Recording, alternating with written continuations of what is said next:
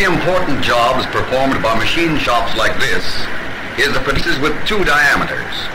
These and many other types of pieces make this kind of military car possible. Here, for example, is a piece of two diameters in the form of a spur gear, an essential part of the transmission assembly. The teeth you see on this spur gear were cut on the milling machine after the blank has been turned on the lathe from the rough stock. The production of such gear blanks as this is an important part of the work performed on an engine lathe. The job usually starts as a piece of rough stock and a drawing on the shop foreman's desk. Warren, here's that spur gear blank for you to start with. Now bring the collar diameter down to two and one quarter inches. The shaft diameters down to one inch. The collar width is three quarters of an inch. The shafts are four inches long from each collar face. Now notice that the drawing allows you a leeway of minus two thousandths of an inch from the dimensions given. That's the tolerance of this job. We finish up the fillets here where the collar joins the shaft. It's already centered. Now do it quickly, Roy, but don't spoil it. It's pretty important. Yes, I know. All jobs are important these days, and I'm all ready to go. Well, that's fine. Yes, I see you are. And Roy is ready to go. His lathe is cleaned and oiled, and as a good operator, he's dressed for the job. The safe way, with nothing loose to catch on machinery. Collar buttoned, sleeves out of the way, hair not dangling. The drawing or the blueprint constantly guides the good operator in his work from the rough stock to the finished gear blank. He studies the drawing carefully and figures out the order in which he will make the necessary cuts. Before doing the actual work, the overall dimensions of the rough stock should be checked to make for the job. Selection of the right sized dog is important. It should just fit the large, not too small. The tail should point to the headstock. The center holes are clean and the tail center is lubricated. The rough stock is now placed between centers. The tailstock spindle wheel is turned until the piece turns freely between centers, not binding and not loose. Because the stock is rough and uneven, a first or truing up cut must be made before accurate measurements can be taken. The proper tool bit must be selected. A rough truing up tool is needed for the first or truing cut.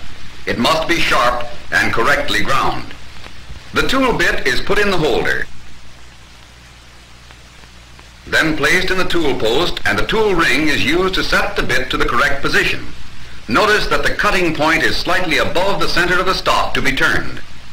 Good and safe operation requires that there be as little overhang as possible in both the holder and the tool. The tool post is turned in the slot until the tool bit is at right angles to a line between the two centers. A short trial cut is made to secure accurate measurements. The cut is stopped and the piece measured. The problem is to use the least possible number of cuts to bring the piece down to the diameter of the largest part of the finished piece. About one thirty-second of an inch must be left for the finishing cut to be made later. The rough stock is approximately two and one half inches in diameter, and the finished diameter is to be two and one quarter inches. To leave enough for a finishing cut, the depth of the rough cut could be set at 3 seconds. The decimal equivalent table shows that 3 32nds of an inch equals 93 thousandths. Setting the tool against the work gives the operator a starting point. Moving the tool past the end allows the tool to be set in for the cut. These graduations are in thousandths of an inch, so the tool is set for a cut of 93 thousandths. The operator sets the feed and speed for this cut and sees that all the controls are properly set. Then starts his cut. After about a quarter inch of the surface has been rough cut, the depth of the cut should be checked with calipers. The cut is then finished. Care must be taken to keep the tail center lubricated and properly set. If the cut is deep, the piece will be likely to get hot. This will make it expand and bind between the centers. The roughing or truing cut is made to as near the dog as possible, but never so close that there is danger of the tool striking the dog. Before accurate measurements can be marked off, a true end must now be turned. This becomes the reference point for all measurements of length. The facing tool is used to face the end. It must be so set that the cutting point is turned in slightly toward the face of the piece. He feeds the tool in by hand.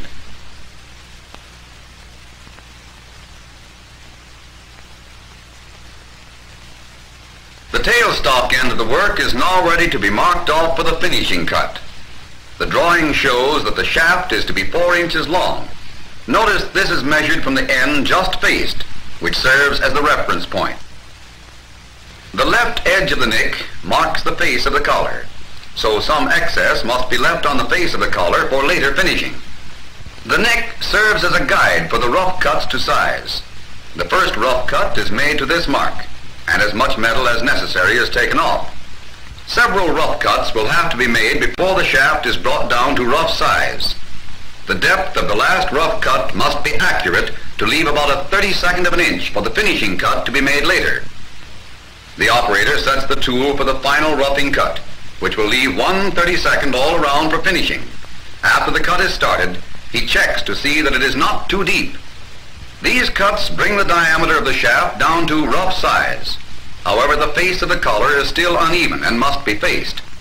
The same tool is used, but the position is changed.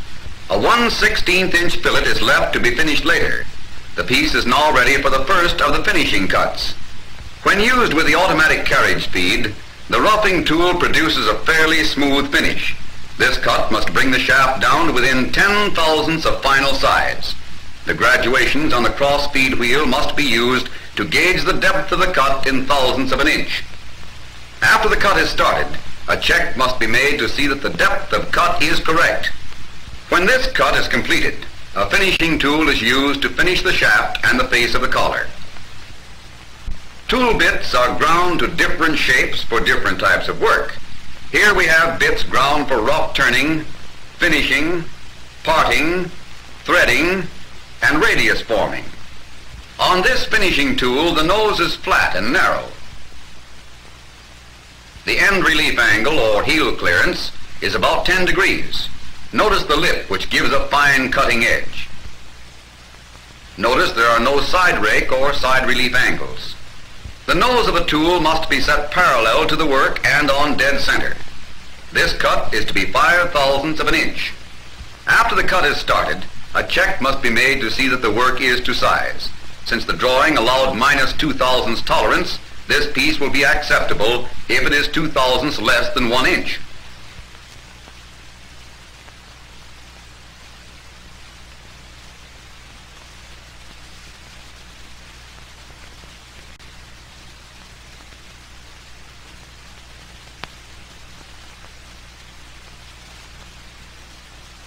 The collar and finishing the fillets, a radius tool is used. The tool is set at a convenient angle to the collar. From the drawing, the exact length of the shaft is known to be 4 inches. Measuring from the true end of the shaft with a steel rule, the point of the radius tool is set at the correct spot to give the shaft that length, and the cut is started. Feed the tool by hand for operations as small as this one. Only the fillet remains to be done on the tailstock end of the piece. To complete the job, the work must be reversed between centers. A smaller dog is selected. A thin band of soft metal is wrapped around the finished shaft to prevent bruising the finished surface. Now the same operations must be made on the unfinished end of the job. A rough cutting tool is again put in the tool post and the first step or the rough cut is made. Next, the roughing tool is used to make a nick for the other collar face. Material is left for finishing. The next job is to remove the excess material to bring the piece to rough size. As in every other operation, proper setting of the work between centers and proper lubrication are necessary.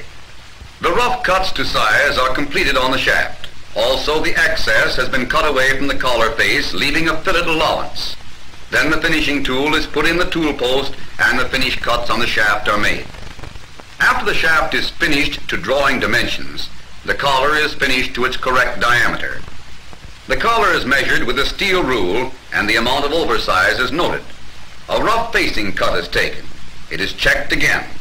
Then a light finishing cut with a final careful check. This completes the facing finish cut to the fillet allowance. The end of the shaft must next be finish faced to the exact length specified by the drawing. To do this, the steel rule is used to measure from the finished face of the collar to mark the exact spot to start the facing cut. The facing tool is used for this operation. The piece is now ready for the final operation, the making of the fillets. The fillets, which add strength to the shaft, can be made with other bits, but a radius tool is ordinarily used. The radius tool is set on center, adjusted to cut the fillet on one side, then readjusted to cut the other side. The carriage feed is worked a little with the left hand, while the right hand feeds in the tool.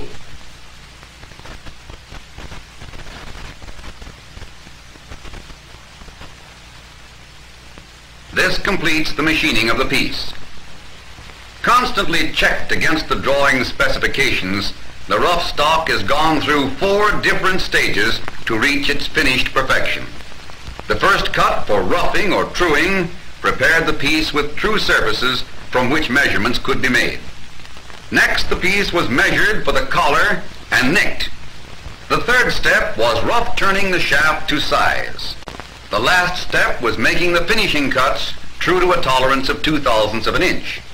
Roy has turned out, on the lathe, one of the finished parts so essential today, one of millions being turned out every day on engine lathes.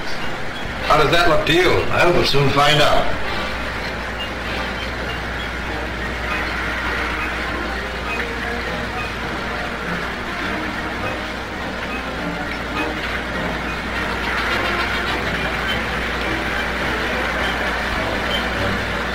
Fits the dimensions. And you made good time. It's a good job. Okay, sir. I'll take it over to the milling machine and start it on the next one.